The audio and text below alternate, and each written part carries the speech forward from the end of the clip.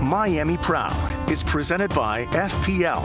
At FPL, we work to deliver clean and reliable energy at the lowest possible price.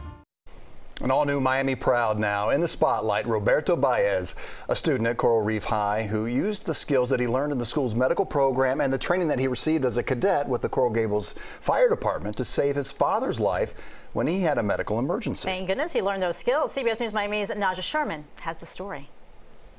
The special bond between a father and son taken to a new level.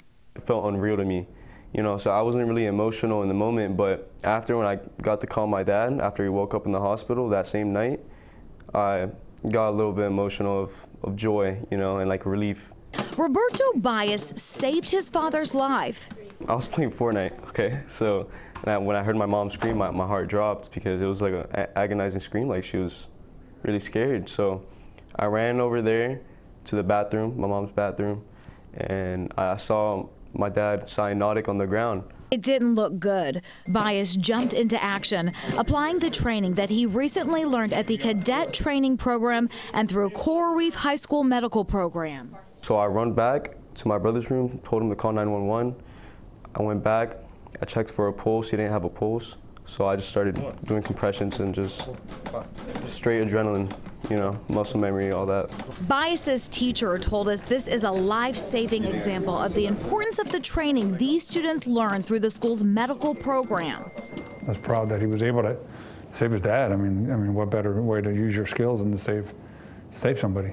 Through the program, students learn all about the cardiovascular system, CPR, emergency procedures as it relates to the heart, and all types of EKG testing. They learn the fundamentals to pursue a future as a medical professional, setting them up to go to medical school, nursing school, become a firefighter or EMT. These classes are wonderful for students to learn. Not only does it give them the education and the knowledge to help people, but it's a great, there's so much to do in the medical field that this is a good base. Baez's father is still recovering, so he wasn't up for an interview just yet. But his son told us about the moment his father woke up and thanked his son for saving his life. He just, he got emotional. He started crying. I was messing with him when he, when he woke up. I was like, yeah, I saved you, bro. I, I was messing with him and he started crying. Yeah, he gave me a hug after, like when he got home and stuff. Roberto Baez says what happened affirmed his decision to become a firefighter one day.